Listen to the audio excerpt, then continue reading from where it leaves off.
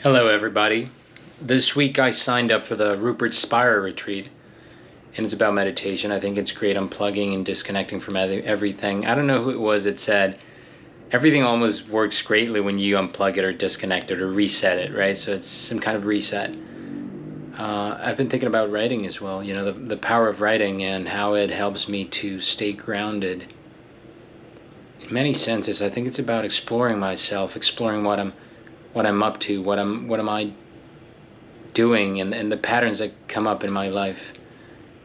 Um, I've been reading about Paul Millerd's Paul Millerd's approach to life. I think from the Pathless Path, and I think it's uh, I think it's impressive to to always know that we don't have to follow the default path what everyone's telling you to and and that helps with the with the dharma remember that we talked about this or yeah if you don't remember about that, uh, I'm going to drop a link here in case you want to check out Dharma and how we have a, a unique acorn or mustard seed, if you can call it that way.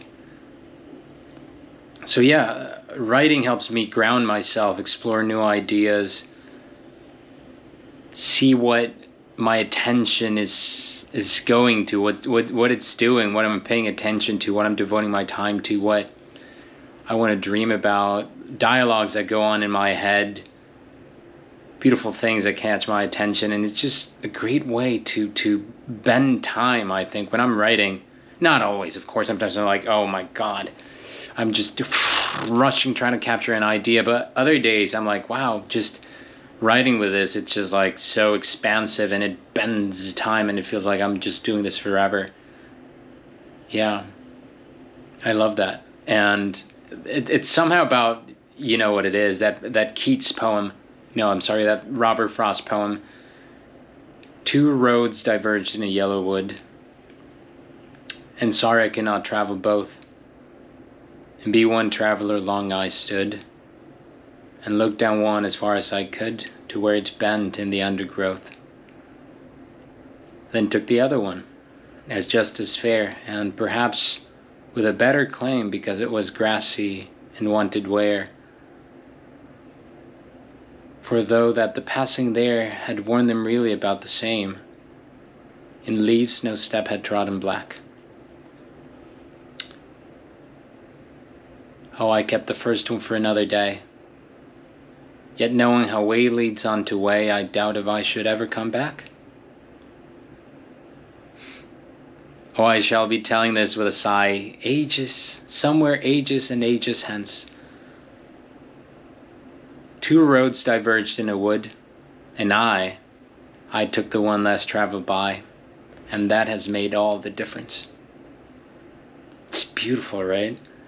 Oh my God, I'm trying to, I don't know, I'm, I'm being aware of my body right now, how, did, how I'm walking through space, what it is, what's going on, what catches my attention, and just focus on being kind today.